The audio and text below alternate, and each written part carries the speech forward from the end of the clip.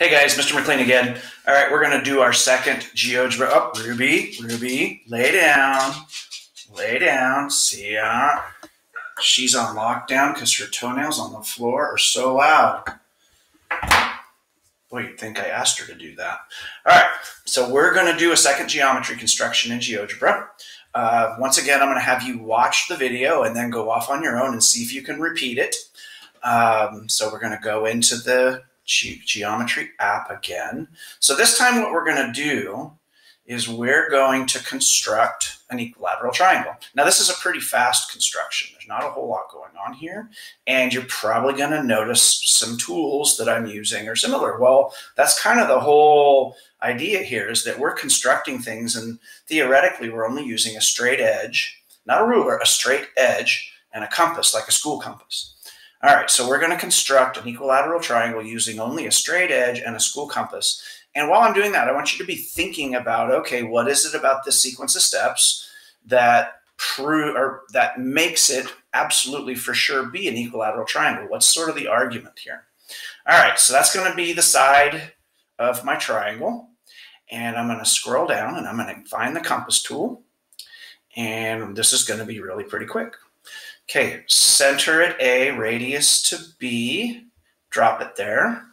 Make sure the compass tool is still activated. Same size, but I'm going to put it there. Now I'm going to go get my pointer tool so I can move it up a little bit and zoom it back. All right, so we're going to construct this point of intersection, and this is going to be our equilateral triangle. And you should start thinking now. So what is it about this thing that guarantees that it's going to be an equilateral triangle. All right, so you'll be thinking about that while I go find the intersection tool. Hey, I actually found it quickly that time. Point C. Okay, you're still thinking about it, right? I'm going to construct those segments for the side lengths. And that is an equilateral triangle. Okay, you're still thinking about it, right? I'm going to show you one other trick here, though.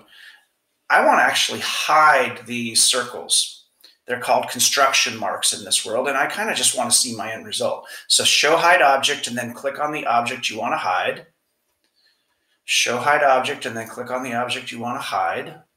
I go up to the pointer tool, and now I just have my resulting construction.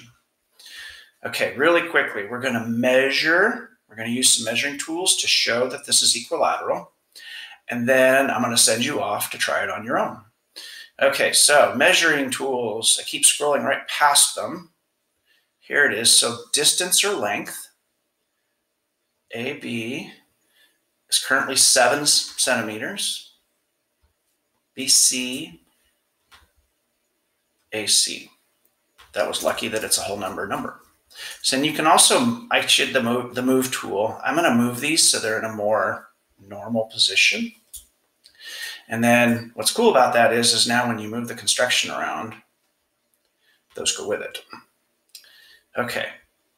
I'm going to leave it to you to add in the measures of the angles. What do you suppose the measure of each angle is?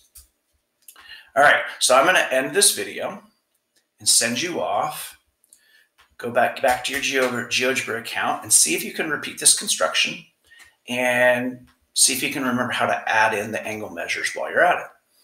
All right, guys, good luck. Let me know how it goes.